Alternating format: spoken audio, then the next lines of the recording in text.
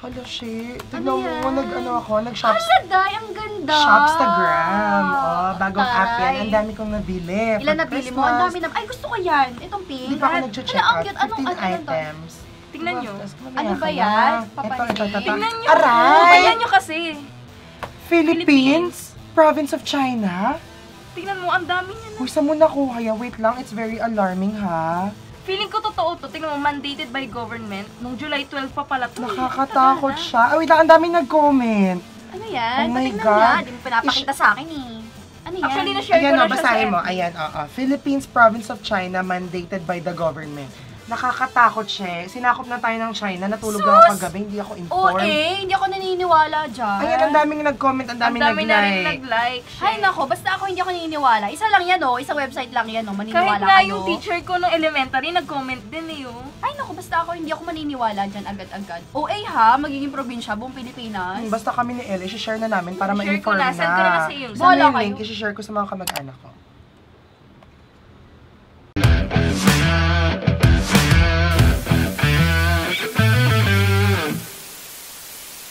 What's up, family? I'm Kat. I'm Weng. And Dami Koy. It's another day na naman mga family upang magkaroon ng bagong knowledge patungkol sa media and information literacy. At for sure, marami kayong aabangan because this is our first episode. Tama ka dyan, Kat, kaya hindi na namin kayo bibitinin pa.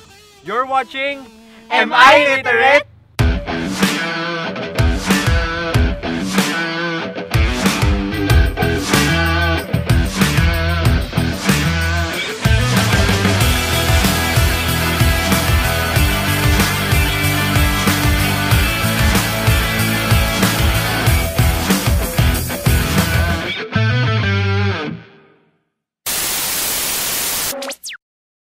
Ang buwan naman no topic natin for today is understanding news, media, and information ethics. Understanding news, tas may media, tas para may ethics pa, no? I know guys that would be confusing for you, but don't worry, cause we got you. Sigurado ako na lahat tayo, we have been in a certain situation na hindi natin alam kung tama pa ba yung nababasa natin online. Lalo na pagdating sa balita, sobrang laganap na kasi ng term na fake news ngayon, di ba? Alam mo, tama ka dyan, Weng. Kaya naman bibigyan natin ng linaw kung ano nga ba talagang ethical journalism. And of course, we will help you out how to be critical in consuming news and media. Kaya naman meron tayong mga kasamang expert na sasagot ang mga katanungan ng ating family. She is a graduate of Broadcast Communication at the University of East Manila and the program moderator of the Media and Information Literacy Program of DLSUD Senior High School Department. Miss Angelica Punong Bayan. That's right, of course, we want you to be properly informed dahil It's lit to be literate. Kaya wag na natin patagalin pa. You're watching Am I Literate?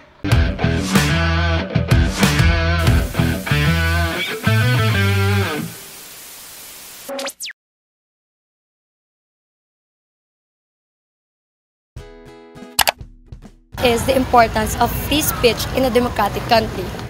First thing is, it's it is really important knowing that we're in a government where we are supposed to have a freedom of expression and at the same time freedom of speech. And of course, journalism has a big impact and help to different kind of viewers or readers because free free speech is something that will help the people on what we really need to know. Because sometimes now the news worthy is not that worthy in my personal views might be because of of course the self-interest of the journalist or of the news organization. But still it's very important to have free speech in a way that we're able to express our opinions. Same thing as citizen journalism. Like what other tv networks are doing right now? What is the purpose of journalism and its role in strengthening democracy and good governance? The role of journalism, or may I say journalist nowadays, or Filipino journalist, is very important since our government right now is somehow suffering from what people wants to know, what the president wants the people to know, and what people needs to know. So it's like the journalism should always think about not the money or not because of the organizations they're into, but because of their passion. Because as a journalist, you're reporting for the people, of the people, and by the people. So of course, they have to give the people what they need to know, not what your company wants the people to know. So it's like using your news ethics and at the same time not being biased. So even if you're going to report something about your station, it's very unusual that a reporter will report someone from the same organization regarding harassment or any sexual assault because it's difficult to report someone who's also in the media industry or who's also in news and current affairs department.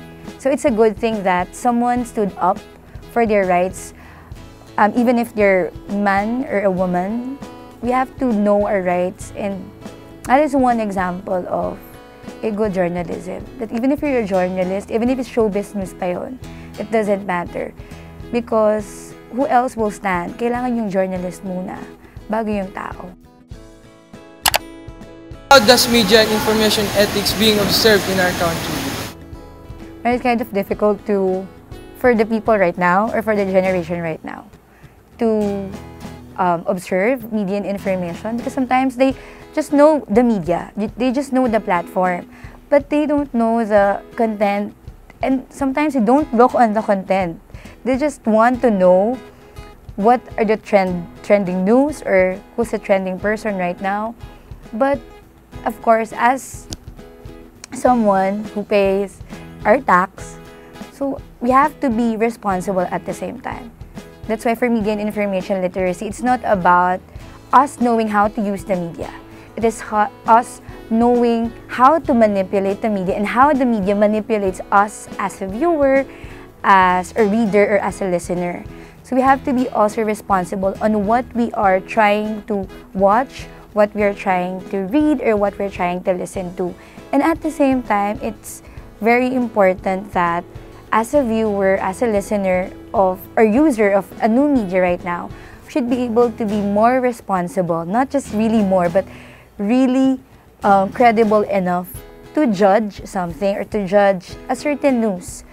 Because most people right now are very judgmental. And it's easy to become famous right now through the media trends. But what the fact what factor affects us is yung for example, parang normal na lang sa atin yung minamatay, ganyan, may rape or about like yung mga news na very morbid, parang normal na lang siya. I, pero dati naman, hindi naman ganun. So parang ngayon, um, we really have to make sure that and observe what we read, what we listen, and what we watch. What are the pros and cons of self-regulating the media? Pros and cons, I think the pros are that or those that maybe as someone who really use media right now or we're now in more mediated kind of communication. So as much as possible, it's good that we're very critical. At the same time, we're very technical on what we read, what you know, what we watch, and what we listen to. But again, the consequence is that some people might or some agencies might say that masyado na maarte ito, dami dami pang sinasabi, ganun din naman yun. But then, what important is that what you know, not what other people know about it. Kasi the most important thing at the end of the day is the transparency and the accuracy of the media that you used. Lalo na, sobrang dami ng fake news. So from those fake news, how are you able to know if it's fake or if it's not? So as much as possible, you have to be critical of knowing and judging uh, news or media platform. Does the emergence of citizen journalism affect the traditional media? Why or why not? Of course, it's very important. First thing is that you're able, you're credible. You're credible enough to say something about anything under the sun. So it's like, you can defend something since from the module that we're going to use, diba? So from the module and from the sources, it's very important to have resources, to have something like your backbone. See, if you're just going to say your opinion, it's very personal, it's not objective. So having source, having a credible source will help you to be able to be credible enough and to be able for the learners to know, ah, okay, dito nila nakuha yon from this person and these are the um, and these are the things that this person has or for example the person the writer or the, resou- the uh, resources or the author has these kinds of credentials so of course it will be easy for the learners to believe and at the same time to use the different the different platforms or resources that the Lasallian educators or educators will give them. Ayan, ang dami na nag-message sa akin. Yes. Na-alarm sila dun sa pinost natin. Pero kay dapat lang para ma-inform sila sa tamang information na kinakalat natin. Ako rin. Pati yung magulang ko, sabi ni mama kung totoo daw ba. Sabi ko, oo ma, tingnan mo, Wikipedia pa nga yung naglabas eh. Tsaka mandated by government na. Doon ako. True. Ayan. Hindi talaga kayo naniniwala sa akin. Hindi, pambansang epal ko kayo. Wow ha! Shinare nyo na, pinost mo pa. Ano, madami na nag-like. Oo, ang dami nang Ano ba nag-like. yan? Nilike na ng crush ko. Guys, hindi naman porket maraming likes, maraming shares, maraming comments, eh legit na. Ano ba naman kayo? Shit. Oh, Sa tingin mo, peki yung mga Kaya likes nga, na yan. maglalabas ba sila ng ganyan? Oo, maglalabas ba sila ng ganyan kung hindi Ay, totoo? nako, basta para sa akin, i-delete nyo yan kasi mamaya papagkamalan pa kayong false bearer of information. May Ang ganun mo, ano? Oh, talaga. Kasi tingnan nyo ah. Tingnan nyo to. Basahin nyo to. Mm. Pina-search ako. Oh, basahin mo, basa. Philippines, a province of China, not now, not ever. Oh, not ever, forever. Saan naman galing yan? Rappler. Legit na yan. Legit to. Sure na yan Legit talaga. to. Kasi nga guys, oh, ang Wikipedia pwede pa ma-edit yan eh. Ano, naniniwala may- Eh, kayo? paano yan? Na-post ko na, na-post niya na rin, na-share niya na nga eh. Mga dahil hindi pwedeng i-delete, i-delete nyo nga. Nakakahiya naman. Ay, wow ha. Pero dapat lang talaga na hindi sila nagpo-post ng mga ganyang article. Oo. Kasi alam mo, nakakabahala siya sa mga Pilipino. Kahit nga ako, di ba, ako rin, naniwala na rin ako. Agad, ang Naniwala dami kayo. pang nag-react. Paano naman yan? Tumingin din kayo sa iba kasing sources, hindi yung dyan lang sa Wikipedia pa kayo tumingin talaga. Ano ba yan? Mm, delete delete na nyo lang yan natin. ha. Sige Now, na. next time, alam nyo na ha. Okay? Nakakahiya tuloy. Ang dami kong natutunan from that. Una, journalists do play a central role in providing us with information and facilitating citizen participation. Tapos meron din palang governing bodies for news and media. Ikaw ba, Kat?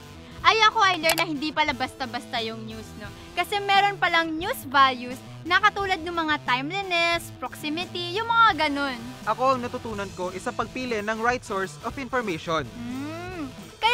We hope that you've learned a lot from this episode, kagaya namin. Kaya samahan niyo ulit kami sa susunod na episode. Dahil it's lit to be literate, I'm Weng. I'm Kat. And I'm Ikoy. See you next time here on Am I Literate?